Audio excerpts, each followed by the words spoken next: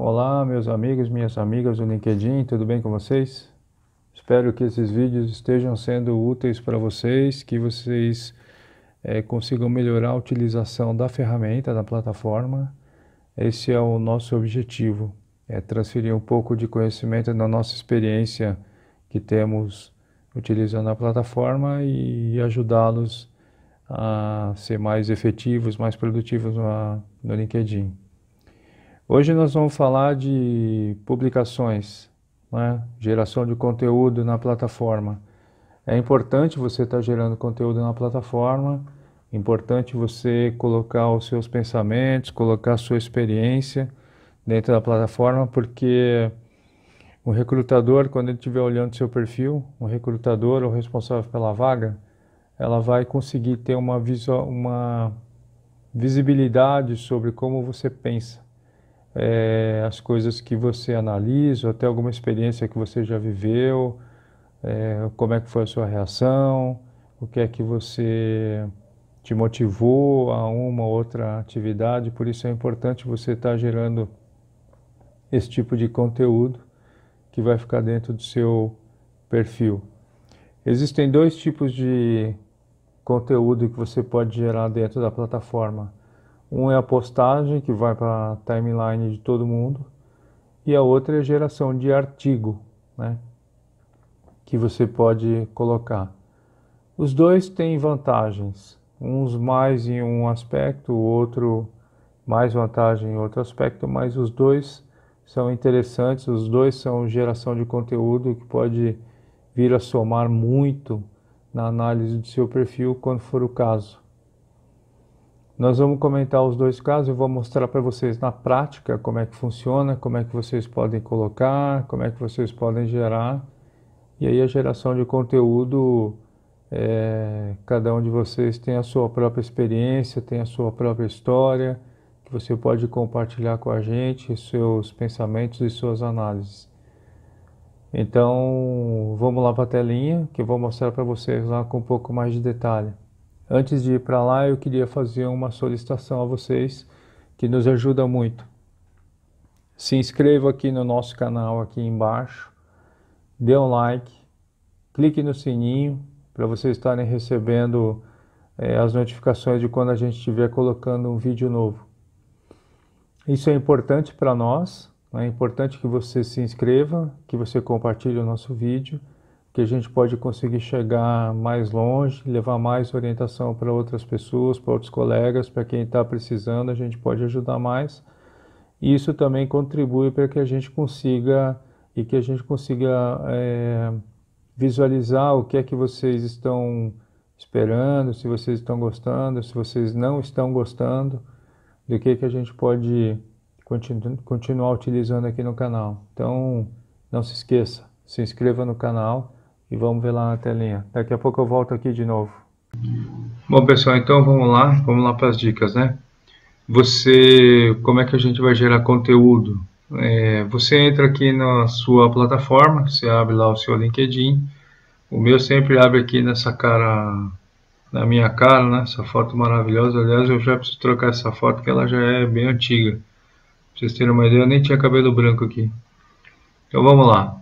Então você abriu o seu LinkedIn, você clica aqui no início, ok? Aí já vai abrir essa janela, né? E aqui você tem as duas opções, começa uma publicação ou escreva um artigo. Vamos por partes então, vamos começar uma publicação. Quando você clica lá em publicação, clicou aqui, ele vai abrir a janela, né? E aí aqui você desenvolve seu texto. Aqui é onde você vai escrever o seu conteúdo, alguma, alguma coisa que está na sua cabeça, enfim. É, aqui é onde você começa a gerar o conteúdo. Veja que aqui tem uma limitação. Aqui você consegue colocar no máximo, no máximo 1200 caracteres. Quando chegar em 1200 caracteres vai aparecer um númerozinho aqui embaixo né? que aí já está mostrando que você excedeu. Você vai conseguir escrever no máximo até 1.300, 1.400, depois você não consegue escrever mais nada, ele bloqueia. Aqui também você consegue colocar foto, né? uma foto que você tenha aqui no seu no seu computador, você consegue salvar, ou então você consegue colocar vídeo, ou então você consegue colocar algum artigo, algum arquivo, ou então você vai dar reconhecimento, fazer uma recomendação para alguém, para algum colega seu, você pode fazer por aqui também, né? Enfim, isso aqui é uma publicação, tá bom? É uma geração de conteúdo, mas com espaço um tanto quanto limitado a 1200 caracteres, e essa publicação ela vai para timeline. Eu já explico o que é a timeline. Ou então você pode também você pode também escrever um artigo.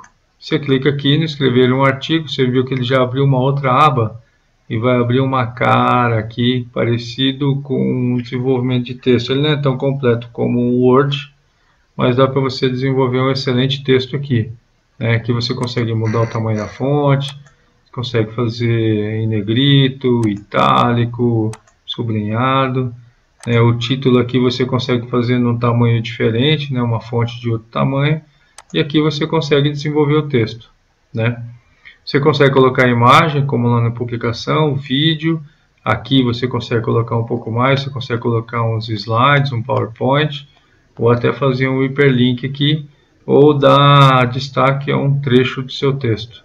Né? Aqui você consegue colocar uma foto, fazer um negócio bacana aí, tá? Então, Aqui são os dois formatos de geração de conteúdo que eu mostrei. Agora, eu vou te mostrar um conteúdo pronto. Um conteúdo pronto que eu fiz, que eu desenvolvi e que eu coloquei, aliás, dois, né? Um artigo e uma publicação. Então eu volto, voltei aqui para a minha tela inicial, né? Eu fui um pouco rápido a visualizar meu perfil e veio para cá, né? Aí aqui tem aqueles dados, deixa eu mudar aqui para o português, aí fica melhor. Aí, passou tudo para português. Aí aqui tem o número do painel, cada um tem o seu, né? Então, aqui a gente está visualizando os artigos. Né? Aqui são alguns artigos que eu publiquei. Eu devo ter uns 12, acho que são 12 artigos publicados aqui. E cada artigo, ele tem uma, uma cara, né? Então, deixa eu mostrar para vocês aqui esse último que eu criei aqui, ó. Você clica em cima da foto do artigo, ou dentro lá do quadrado do artigo e a gente vai conseguir ver o conteúdo dele. Enquanto ele está abrindo, a diferença do artigo à publicação é que o artigo ele fica dentro do seu perfil para sempre. Né? Então, você consegue achar aquele artigo que você fez, o artigo que você publicou. Deu erro aqui, vamos tentar de novo. Aqui, abrir o artigo, visualizar todos os artigos. Olha lá. Então, esse aqui foi um artigo que eu desenvolvi. Então, você está vendo? Dá para colocar uma foto bacana em cima. Dá para você colocar a linha de chamada com uma fonte um pouco diferente. E aí eu consigo desenvolver um texto bacana aqui do artigo. É, consigo colocar vários tipos de fonte, consigo colocar numeral, itemizar as coisas, consigo colocar uma foto no meio, né? E não tem limite de caractere. Aqui dá para você escrever o quanto você quiser. Então, esse aqui é um artigo, né? Agora vamos voltar lá e vamos mostrar uma publicação. Aqui são algumas publicações que eu fiz, né? Que eu coloquei na minha timeline. Né? Então aqui eu coloquei eu compartilhei um vídeo da, da Inácio, aliás, vocês puderem ver, o movimento chama Unidos Somos Mais, é bem bacana. E aqui todas as minhas publicações, né? Nas publicações tem uma diferença, né? As publicações, deixa eu achar uma publicação bacana, aqui ó. Isso aqui foi uma publicação que eu fiz, uma geração de conteúdo, né, que eu escrevi aqui deu quase 1.200 caracteres, né, e isso aqui vai para a timeline. Então qual que é a diferença? Quando vai para a timeline, a timeline é como se fosse um, um, aquelas publicações do Facebook que são leituras rápidas, que todo mundo para e olha, porque na timeline tem de tudo. Né? Tem lá os compartilhamentos de vagas, é, propaganda de produto, enfim embora seja profissional, é bem profissional o LinkedIn, mas a timeline onde aparece tudo e as pessoas fazem a leitura rápida aqui. Né? Então, a timeline pode chegar a um número de visualizações bastante alto, diferente do artigo. No artigo é muito difícil chegar no número desse aqui. Tá bom? Bom, pessoal, espero que vocês tenham entendido mais ou menos como é que funciona a publicação e geração de conteúdo. Espero que vocês façam uma boa utilização e que é importante utilizar essas duas ferramentas. Gente, não se esqueça de se inscrever aqui no nosso canal, dar um like e deixe seu comentário ou crítica, que vai ser muito importante para nós. Bom pessoal, espero que esse vídeo tenha sido útil para vocês também, para geração de conteúdo, que a gente falou sobre publicações e artigos. Espero que vocês façam um bom uso dessas informações e gerem muito conteúdo que vai ser muito útil para vocês, é, vai dar muito mais visibilidade.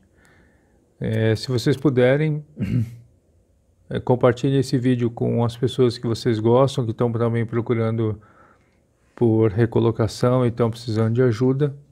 Compartilhem aí com eles, tá bom? E também, se vocês gostaram, se inscreva aqui no canal, clica no sininho, dá um like aí se você gostou e deixe seus comentários que vai ser bastante útil para a gente, para a elaboração dos próximos vídeos. E é, espero realmente que tenha agregado valor para vocês aí e que vocês façam um bom proveito. E até o próximo vídeo, pessoal. Um abraço.